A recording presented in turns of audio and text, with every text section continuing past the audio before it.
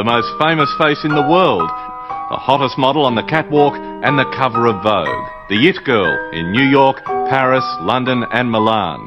Her name is Gemma Ward.